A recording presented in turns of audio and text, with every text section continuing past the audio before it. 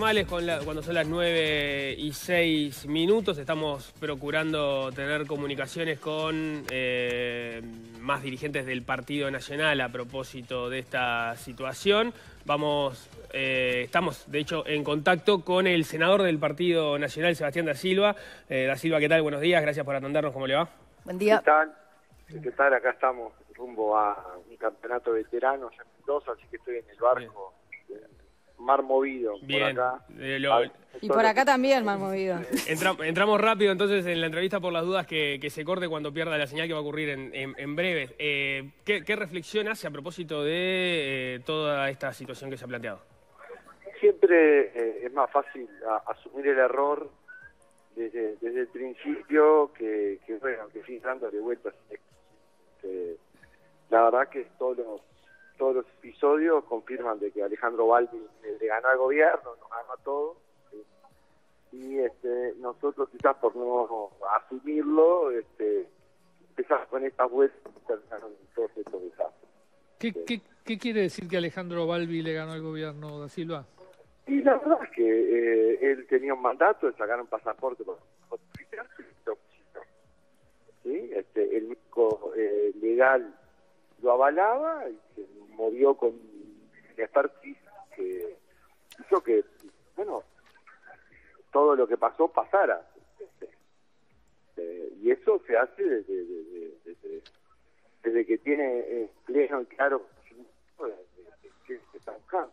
Ahora, Pero- ¿por qué si, si desde el punto de vista del gobierno la, la normativa que estaba vigente, por lo menos es lo que sostiene el gobierno, no, no, el Frente Amplio no coincide, habilitaba a darle el pasaporte o casi que obligaba a darle el pasaporte según el análisis del gobierno, ¿por qué se le dijo al, Parlamento a esta altura en flagrante mentira que nadie sabía quién era Marcet? Primero, eh, eh, eh, soy miembro del Parlamento, del, del- Poder Ejecutivo.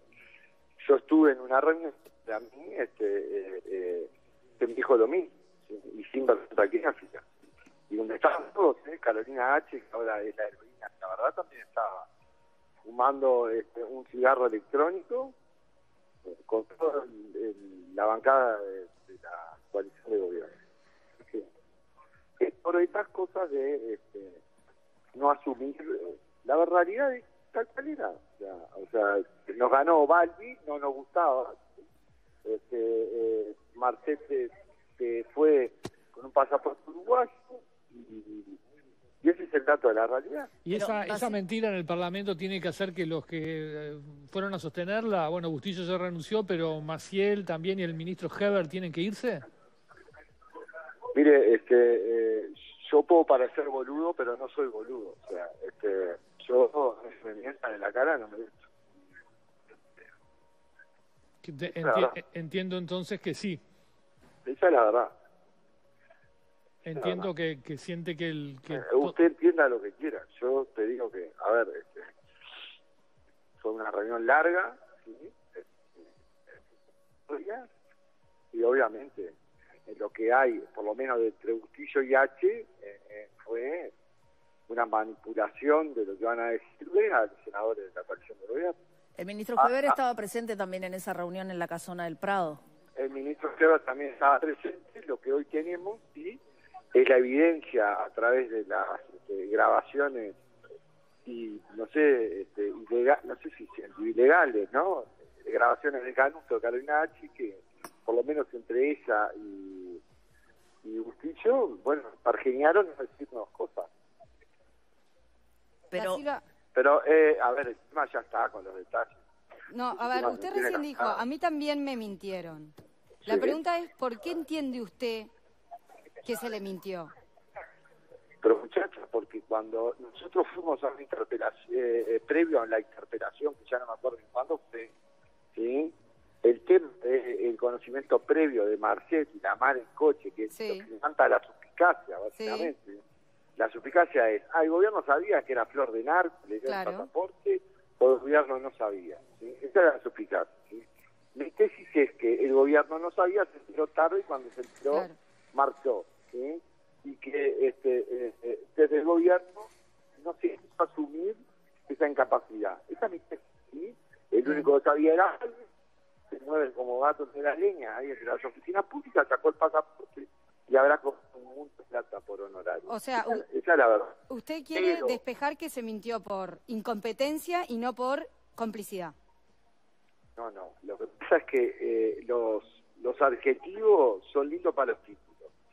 Cuando eso pasó, todos estábamos durmiendo la siesta, ¿sí? Después, eh, meses después, éramos quienes llamar el escándalo. ¿Estamos de acuerdo? Entonces, eh, la reconstrucción eh, retroactiva que se quiso hacer en esa reunión de eh, la casa del Ministerio del Interior en Prado, ¿sí?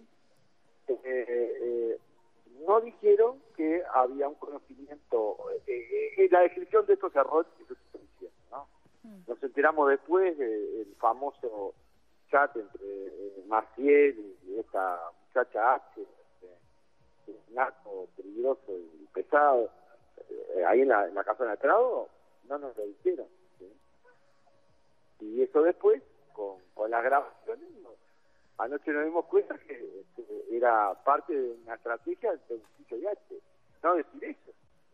O sea, que calienta muerto.